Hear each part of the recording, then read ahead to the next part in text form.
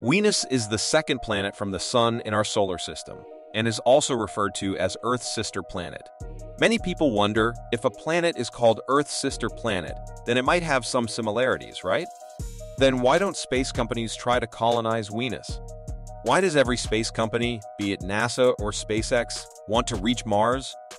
In this video, we will see why humans don't colonize Venus before Mars. Many believe Venus is uninhabitable due to its hellish conditions. But let me tell you folks, appearances can be deceiving. Venus is actually closer to Earth in terms of size and composition. It's also blessed with an atmosphere predominantly made up of carbon dioxide.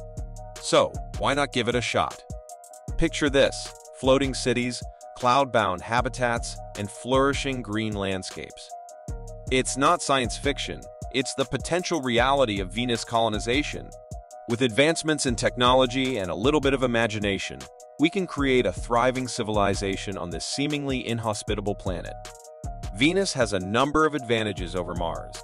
Firstly, it's closer to Earth, making it easier and more cost-effective to transport supplies and support missions. Secondly, its gravity is remarkably similar to Earth's, providing a familiar environment for human beings. Imagine having the ability to explore the unknown within our own cosmic neighborhood. Venus offers new scientific, technological, and biological frontiers just waiting to be discovered. The potential for groundbreaking breakthroughs in medicine, energy, and environmental studies is limitless. Even after all these benefits, why are humans not thinking about trying to do Venus missions? Well, Venus colonization isn't without its challenges. The extreme temperatures and the acidic atmosphere would require innovative engineering solutions. According to research, the surface of Venus is a true inferno, with an average temperature of about 864 degrees Fahrenheit, which is 462 degrees Celsius. That's hotter than the surface of Mercury, the closest planet to the Sun.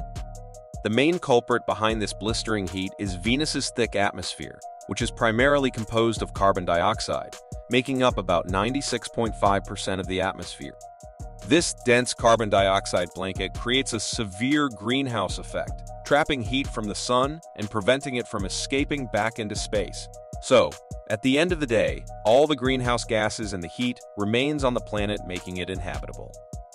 Moving on, let's talk about the surface on Venus.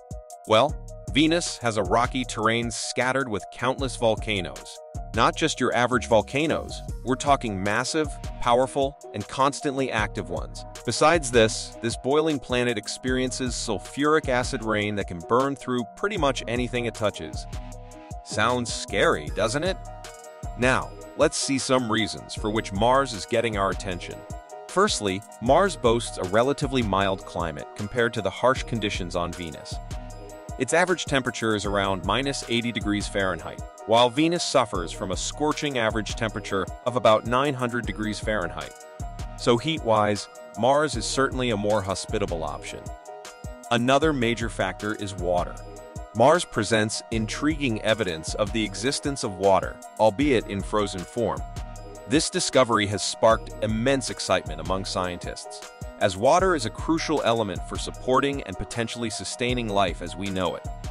Water is not only essential for human habitation, but also serves as a potential resource for future astronauts. It could be harvested and purified, providing life-sustaining resources, fuel for spacecraft, and even oxygen for future colonies.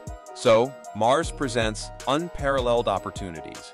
So, while Venus, our cosmic twin, presents its own unique allure, the harsh conditions and lack of resources have made Mars a more feasible option for exploration. However, let's not forget the incredible advancements we've made in understanding our solar system as a whole. Who knows, maybe one day, both Mars and Venus will become hotspots for human exploration. Until then, let's continue to fuel our curiosity and venture forth into the unknown depths of space. We hope you enjoyed watching this video. If you did, make sure to drop a like and subscribe to our channel with bell notifications so you can see our next videos. We will see you in the next video. Thanks for watching.